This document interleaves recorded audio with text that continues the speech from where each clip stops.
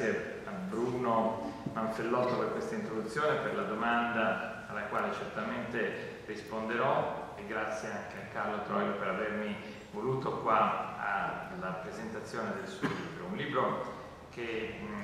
ecco, prima di rispondere alla domanda eh, di Bruno Manfellotto vorrei dire qualche, fare qualche considerazione sul libro che vi consiglio davvero di eh, acquistare e leggere perché è un libro che ha due aspetti secondo me.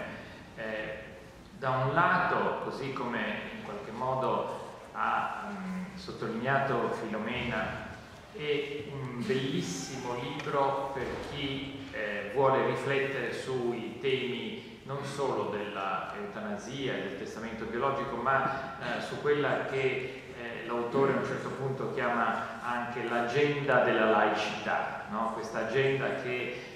dovrebbe essere presente eh, nella vita, nella discussione, nelle riflessioni della politica del nostro Paese, invece come Bruno Manfellotto sottolineava, eh, a volte appare, sembra che quel giorno sia l'argomento più importante di tutto il Paese, del dibattito nei media, nelle televisioni, nella, nella società e poi improvvisamente eh, scompare e per mesi o a volte anni di quel tema. Non se ne, non se ne parla più. Ecco, il libro ehm, affronta tanti temi di questa agenda della laicità, nella seconda parte ad esempio affronta il tema della fecondazione assistita, affronta il tema dell'aborto, affronta eh, il tema delle unioni, eh, delle unioni, civili, tanti temi su cui il nostro Paese è eh, drammaticamente indietro rispetto ad altri, ad altri paesi. Io ehm, vi voglio raccontare con un po' di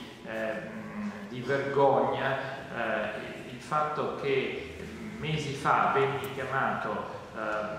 a Bruxelles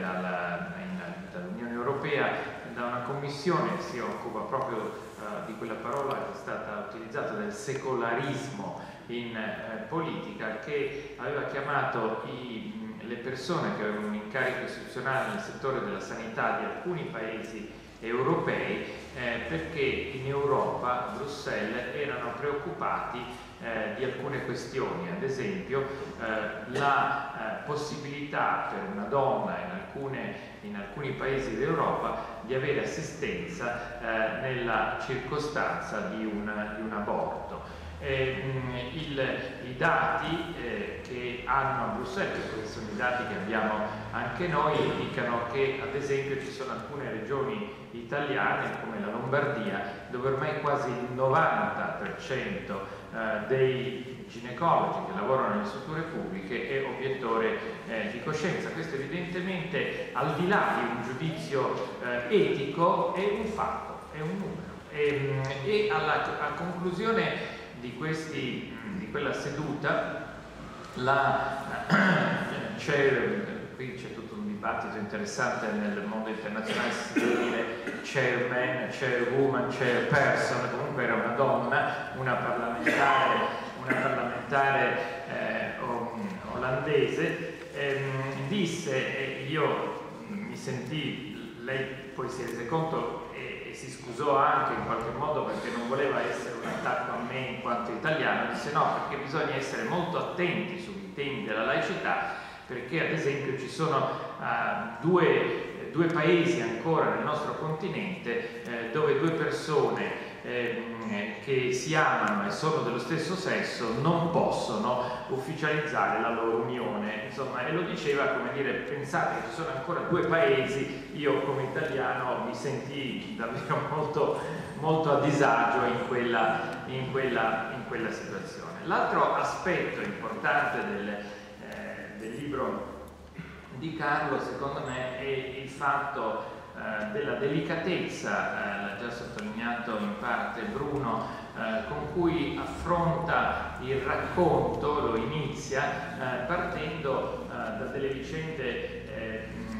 da, delle vicende, umane personalissime come appunto la morte, ma prima ancora la malattia del fratello,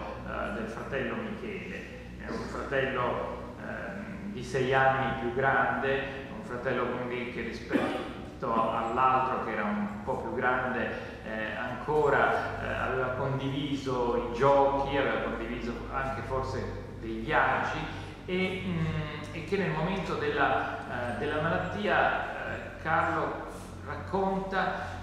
che addirittura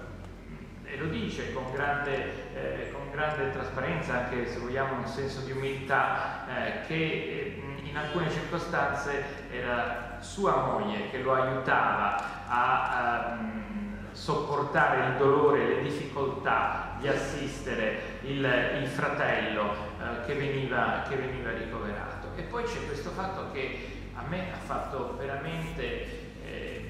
riflettere tantissimo perché eh, ho pensato a quando andai a trovare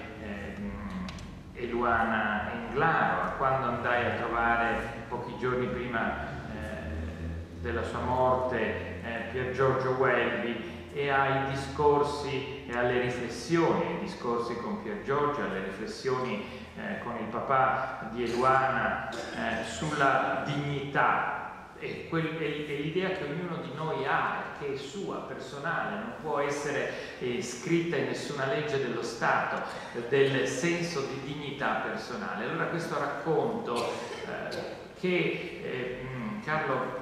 congiunge temporalmente eh, di questa eh, signora esperta, una, la badante della sua mamma, eh, che si trova ad assistere la sera prima della morte eh, di Michele, eh,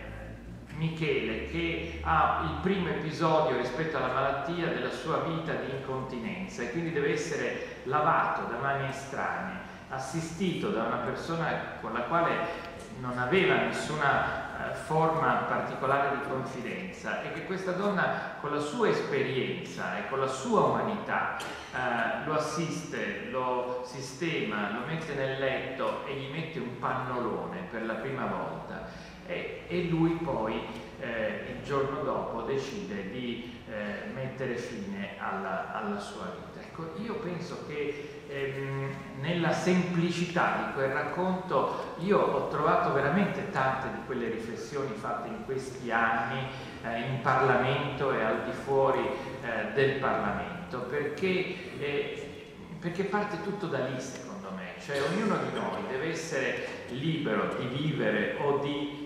o di morire sulla base dell'idea che abbiamo della nostra dignità personale e l'idea di Luana che aveva lasciato eh, ai suoi genitori, una, in, scritta in una lettera eh, bellissima, toccantissima, eh, in prossimità di un Natale, in cui indicava che lei non avrebbe mai voluto trovarsi in una situazione in cui il suo corpo venisse manipolato da mani estranee, come poi è stato per 17 anni per 17 anni. Ecco, io credo, e anche il, mh, mm, nonostante qui c'è Nina Carla Welby che erano presenti quella sera in cui mi accolsero nella loro, nella loro casa e, eh, assistito al lungo colloquio con Pier Giorgio, io devo dire, trovandomi di fronte a un uomo eh, così, eh, così raffinato nel ragionamento, sinceramente pensavo che avrebbe potuto continuare a dare quel contributo che dava eh, nel suo impegno personale, eh, con il suo cervello, con il suo pensiero. Però credo, credo davvero che la decisione eh, se continuare a vivere aiutato eh, da una macchina e una decisione, eh, quella invece di eh, mh, sospendere l'aiuto che lui riceveva da, quella, da, quello strumento doveva essere davvero soltanto sua. Nessuno, nessuno può decidere per noi e tanto meno, lo dico eh, davvero da persona che in questo momento ricopre un, luogo, un ruolo in Parlamento, tanto meno può chi ha vinto le elezioni, chiunque vinca le elezioni. Non è un tema che può essere affidato a una maggioranza parlamentare che impone con una legge quello che ognuno di noi eh, deve accettare o non deve accettare come trattamenti e come terapie. Io eh, tante volte eh, Carlo lo ricorda anche nel suo libro perché è, una, è un esempio che, che, che, che tante volte ho utilizzato perché a me sinceramente mi ha molto colpito quando ho iniziato a approfondire da parlamentare, non da medico, questi argomenti e mi sono reso conto che il, il, il punto centrale della libertà di scelta rispetto alle terapie era stato scritto il 28 gennaio del 1947 nella eh, seconda parte dell'articolo 32 della nostra, eh, della nostra Costituzione e il modo in cui venne scritto. Io davvero me lo, me lo ho cercato di immaginarmelo perché ho potuto solo leggere gli atti dell'Assemblea Costituente, ma mh, mm, il 27 di gennaio eh, l'Assemblea Costituente scrisse la prima parte di quell'articolo, una, una, parte secondo me straordinaria, eh, che io, lo dico davvero con, con, grande umiltà e sincerità, non avrei mai saputo scrivere scegliendo così le parole, perché se a me mi avessero detto scrivi qualcosa eh, sui diritti alla salute, io sinceramente avrei scritto che tutti i cittadini devono avere un accesso uguale alle cure. E invece le madri, i padri costituenti in quell'articolo eh, non hanno usato la parola il sostantivo cittadini, che hanno usato in tanti altri articoli, hanno usato la parola individui, individui, ma pensate il livello di discussione di riflessione che queste donne questi uomini ma pensate anche che uno di questi era Aldo Moro che aveva 29 anni.